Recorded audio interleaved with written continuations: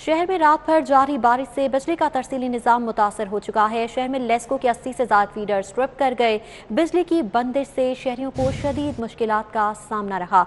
शहर में जहाँ गुजशत रात से बारिश का सिलसिला जारी रहा, वहीं बिजली का तरसीली निज़ाम भी इसकी वजह से मुतासर नज़र आया और बेशतर ऐसे मकाम थे जहाँ पर लेस्को के 80 से ज़्यादा फीडर स्ट्रिप कर गए, जिसकी वजह से बिजली की सप्लाई मुनता हुई और जब बिजली की बंदिश हुई तो शहरियों को शदीद मुश्किल का सामना रहा। शहर में रात भर से बारिश का सिलसिला जारी है, जिसकी वजह से तरसीली निज़ाम भी लेस्को का मुतासर हो चुका है। और इस हवाले से कहा जा रहा है कि इस वक्त शहर में लेस्को के 80 से ज़्यादा फीडर्स भी ट्रिप कर चुके हैं और बारिश का सिलसिला चूँकि जारी है, लिहाजा बरकी लाइनों पर मुरम्मत और बहाली का काम भी नहीं किया जा सकता, जिसकी वजह से बारिश रुकने के बाद ही ये सिलसिला मुकम्मल किया जाएगा। बिजली की बंदिश की वजह से शहरीों को शदीद मुश्किल का सामना है। अबर रहमत शहरीों के लिए उस वक्त जहमत बन जाती है जब लेस्को का तरसीली निज़ाम मुतासर होने से बिजली की सप्लाई मुनता हो जाती है।